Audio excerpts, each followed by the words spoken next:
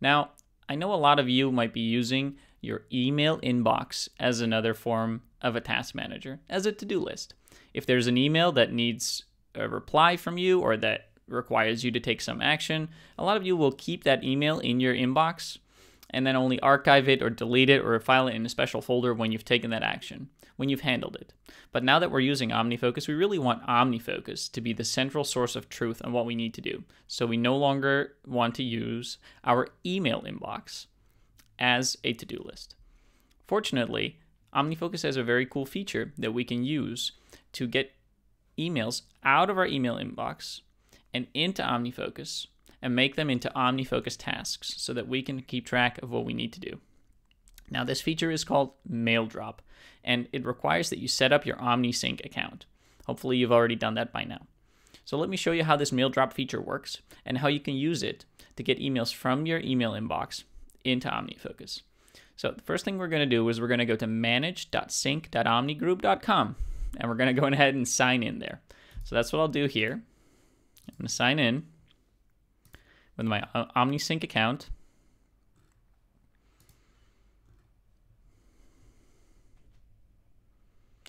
And when I'm signed in, I'm going to scroll down and it'll say mail drop to inbox right here. This is the feature that we want. So we're going to go ahead and click add an address. Now OmniFocus or the OmniSync server generated an address for me. And when I forward an email to this email address, it will create a task in my OmniFocus inbox. So I've copied this email address. I'll minimize my browser here. Go ahead and open um, well, open my email.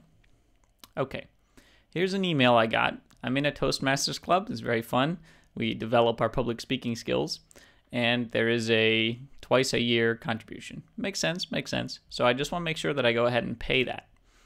And the Toastmasters club people send me an email saying, hey, can you please pay your membership fee?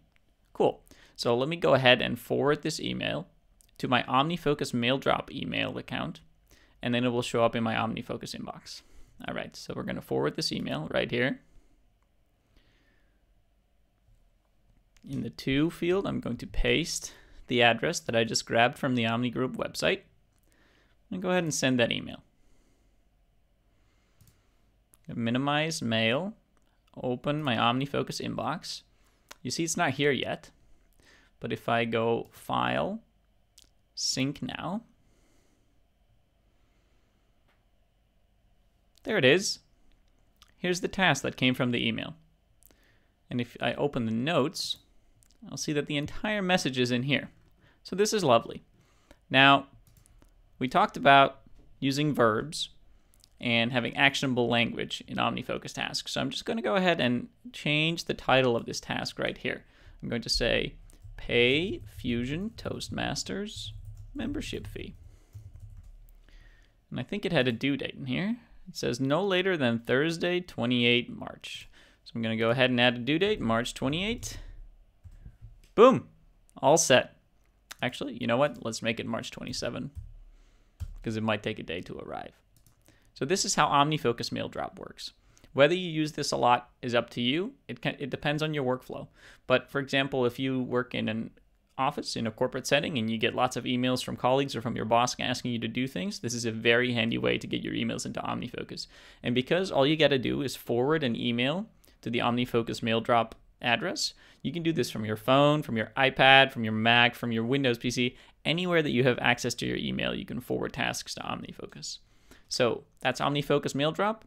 Go ahead and go through your email inbox right now and forward all of the emails to your own personal OmniFocus Mail Drop account so that your OmniFocus inbox has not only the tasks that were in your head, but also the tasks that were in your inbox. Go ahead and do that and then move on to the next lesson.